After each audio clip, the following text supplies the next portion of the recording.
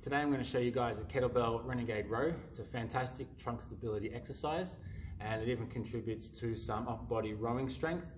Um, when to do the renegade row is when you can do a plank for about a minute. I'd have a crack at these.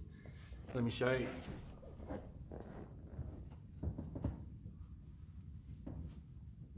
Okay, feet apart. I'm in a plank position. I'm going to row with the kettlebell up to my chest with the elbow up high. Transition to the next. And repeat.